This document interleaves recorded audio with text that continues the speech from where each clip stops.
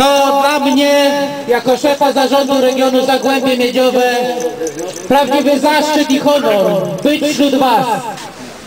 Pokazujecie od ponad dwóch tygodni, jak godnie, z jaką godnością, z jaką empatią należy Was szanować, jak polski pracownik, jak członek NSZZ Solidarność powinien się zachowywać i zachowuje się, gdy ten po drugiej stronie, w cudzysłowie niestety muszę powiedzieć pracodawca, nie licząc się z ogromnymi stratami firmy, na przekór, tylko dlatego, żeby być przeciw, tylko dlatego, żeby pokazać wam, że jesteście godni, nie dać wam właściwego wynagrodzenia, nie dać wam godnego wynagrodzenia, o które domagacie się nie od 17 dni.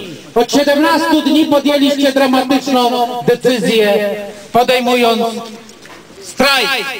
Wy domagacie się od wielu miesięcy. Niestety trzeba to głośno po raz kolejny wyartykułować. Firma ND Polska nie dorosła do tego, żeby w Europie, żeby w Polsce funkcjonować. Bo dobra firma to taka, która dobrze wynagradza za właściwą, za dobrą wykonaną pracę.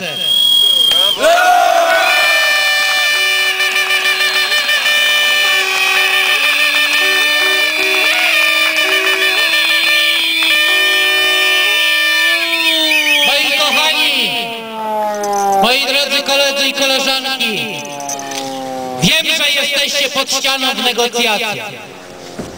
Jest to niezwykle dramatyczne i mało pokrzepiające i na dzisiaj, i na przyszłość.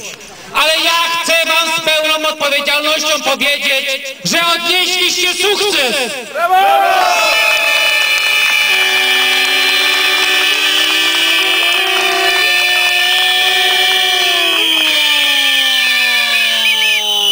Na pewno nie ma sukcesu ekonomicznego, o który również domagaliście się w tym proteście. Niestety z ubolewaniem. Być może, mam nadzieję, że jeszcze się to zmieni. Ale odnieśliście sukces jako ludzie, bo nie pozwoliliście deptać swojej godności. Chwała wam za to i dziękuję wam.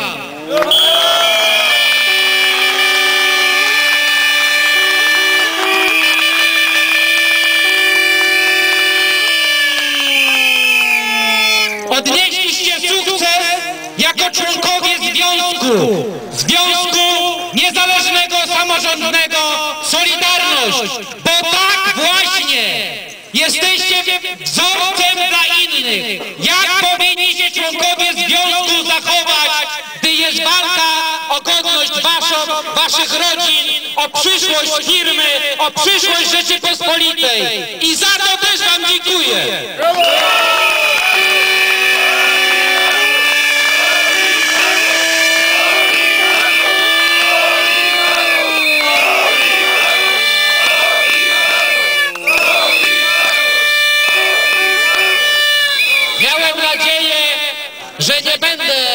Złym prorokiem.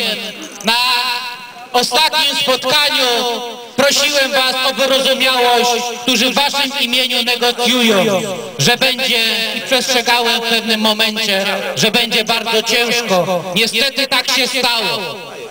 Dlatego proszę Was po raz kolejny o tą wyrozumiałość i przekujcie Waszą hardość i godność w zaufanie do tych, którzy naprawdę z ogromnym bólem serca i z wielkim stresie negocjowali przez ostatnie kilkanaście dni. Niestety druga strona, tak jak powiedziałem na początku, nie dorosła do tego, żeby być pracodawcą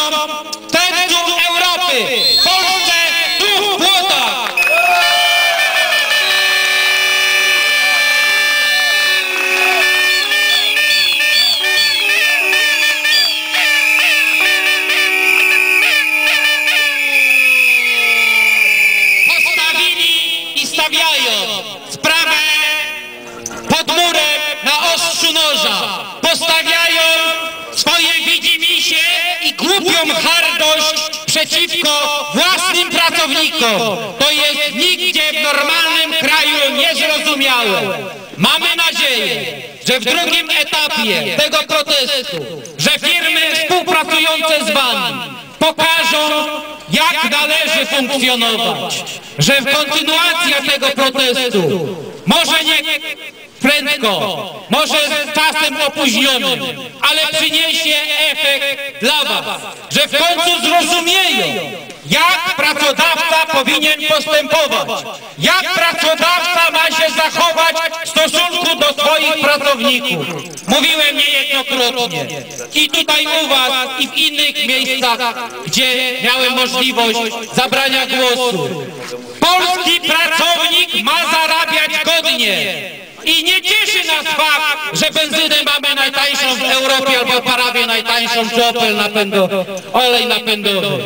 Bo zapominają przy okazji, że zarabiamy pięć razy mniej od kolegów z Niemiec, że średnio zarabiamy trzy razy mniej niż w innych krajach Unii Europejskiej. Tak pokażcie, jak się Polsce powinno zarabiać, a później mówcie, że mamy trzy grosze tańsze paliwo.